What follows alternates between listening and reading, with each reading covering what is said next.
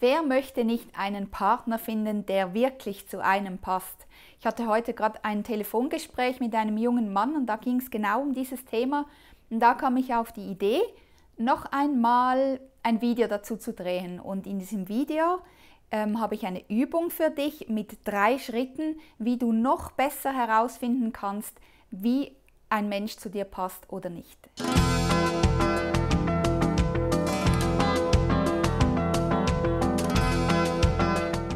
In einem anderen Video habe ich den Wahnsinns-Kribbel-Wow-Effekt beschrieben. Das kannst du dir gerne ansehen, ich hänge es hier am Schluss dann noch an. Ähm, der Wahnsinnskribbel-Wow-Effekt, das ist dann, wenn die Schmetterlinge fliegen, wenn einem Sturm wird im Kopf, wenn man an den anderen denkt, wenn das ganze System ähm, voller Vorfreude und manchmal sogar etwas zu viel Vorfreude auf den anderen fast ausflippt. Vielleicht kennst du das.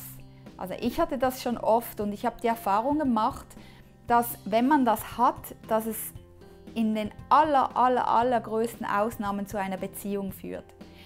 Meistens ist es so, dass man sich dann so komisch benimmt und so komisch verhält, weil man kaum atmen kann in der Gegenwart des anderen, dass äh, daraus häufig nichts wird. Und das ist auch gut so.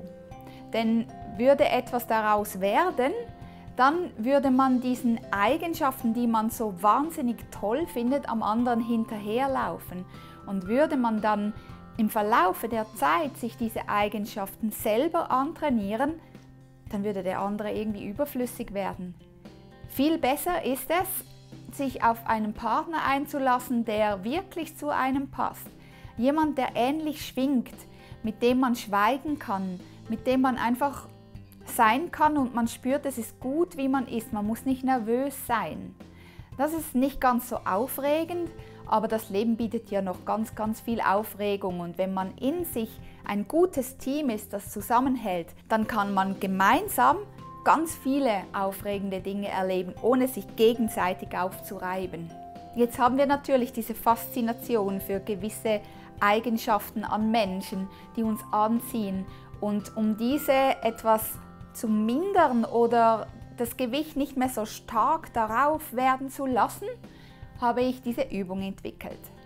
Wenn du so jemanden kennst und gerade so voll die Schmetterlinge im Bauch hast, dann frag dich mal, welche Eigenschaften sind es, die mich faszinieren am anderen.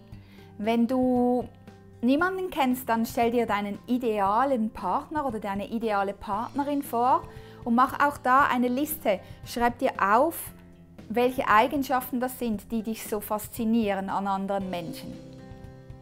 In einem zweiten Schritt überlegst du dir, wie du diese Eigenschaften bei dir selber integrieren kannst.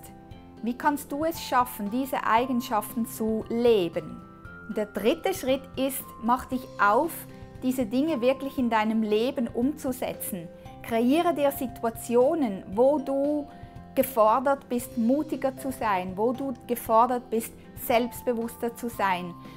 Trainiere deinen eigenen Humor, trainiere deine eigene Lockerheit, deine eigene Fröhlichkeit, deine eigene Leichtigkeit. Weil wenn du all diese Dinge oder Erfolg, was auch immer du dir von einem Partner wünschst, wenn du all diese Dinge bei dir trainierst und die in deinem Paket hast, in deinem Rucksack, den du mitnimmst, dann hast du keine hohen Erwartungen an einen Partner und dann entsteht auch nicht diese innere Nervosität. Dann kannst du in aller Ruhe auf jemanden zugehen und er auf dich. Und dann kann man sich auf einer ganz anderen Ebene begegnen.